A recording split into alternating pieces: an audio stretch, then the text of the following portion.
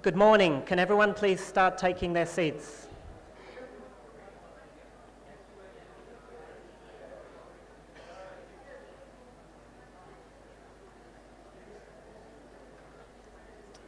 So, if I can ask for quiet, we are going to be broadcasting this live uh, via the web. So, uh, what you say now can be heard. And uh, a welcome to our audience online. My name is uh, Dr. Philip du Cros. I'm working the Manson unit with MSF in London.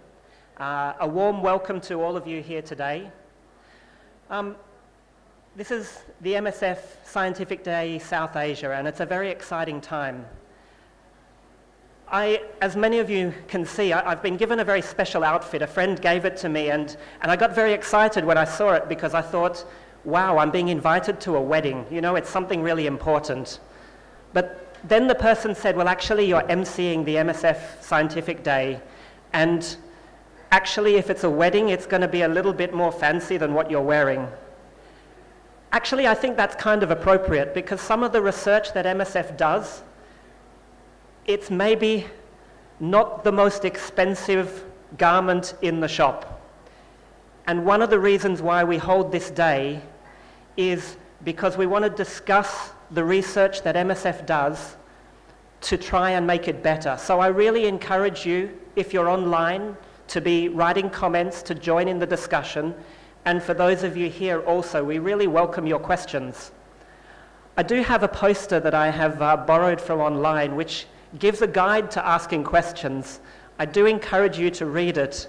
While it is slightly tongue in cheek, it does make the point that since we're limited for time today, please introduce yourself when asking questions. Please say which organization you're with and ask a short question there will be time in the breaks and lunchtime for lots of discussion. We're not asking you to give a long opinion about things. We want to hear from the speakers and ask them probing questions.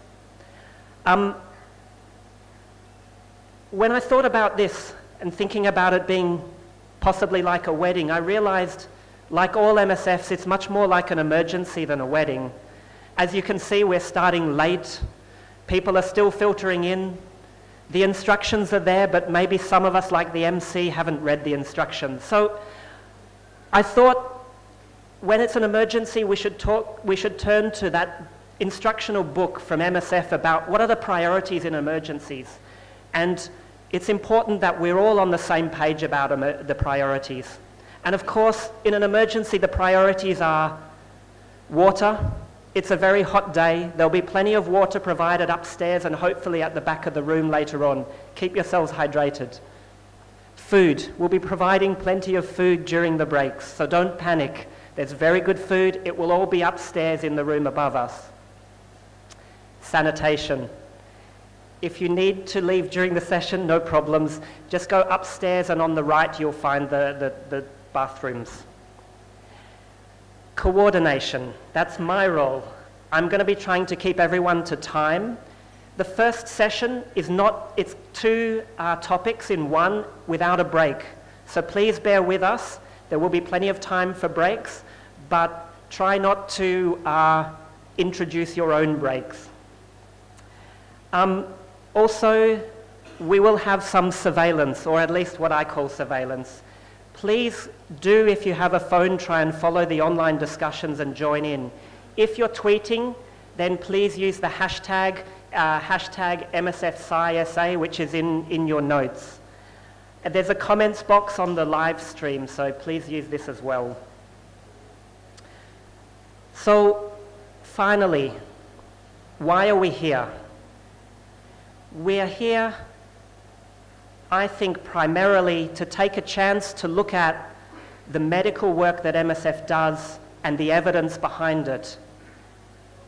Quite a long time ago, I was privileged to start one of the first MDR-TB patients on treatment in one of MSF's programs here in India. And I think of that patient, uh, he was a patient who had HIV. He was a patient who had suffered from stigma and wasn't allowed into many of the clinics around that program.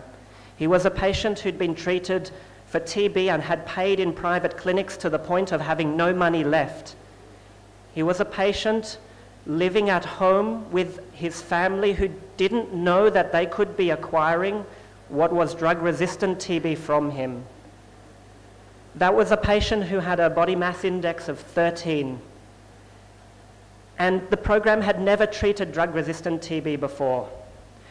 We managed to start the treatment. The patient had many side effects, but eventually there was some successful outcome.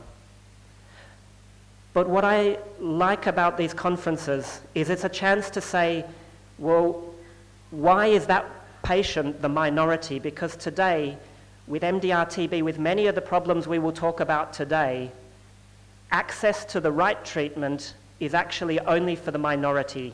And this conference is about bringing evidence to improve access to care.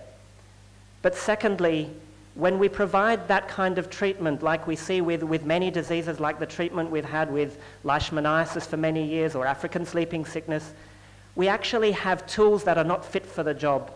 And it's research that highlights that and helps us call for better tools, more investment into research to bring better tools.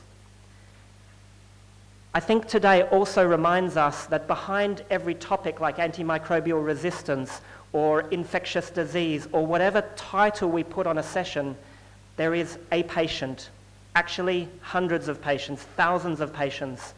And as we are hearing the presentations today, the panel discussions, I want you to be challenging and asking each of the presenters, but how does your research make a difference for a patient or for a program? This is about debate, taking evidence to make a difference for people and patients. Because the situation where people can drown in the sea, not that far from where the most powerful leaders in the world are meeting, and nothing really is said about it at that conference. The situation where people in Syria continue to suffer from attacks from weapons which nobody thinks should be used in any war. The situation where there are so many people who are denied passage to be able to flee from conflict or persecution, and those situations occur around the world. MSF is about Doctors Without Borders, and fundamentally, it's about a helping hand for people, whether that hand comes from medical care or changing policy or bringing attention. So, with that little sermon out the way, I wanted to move on to our first session, and I'll invite uh, Dr. Unni uh, Karunakara up to speak to us. His bio is in the notes, more than two decades as a humanitarian and a fellow from Yale. Thanks, Unni.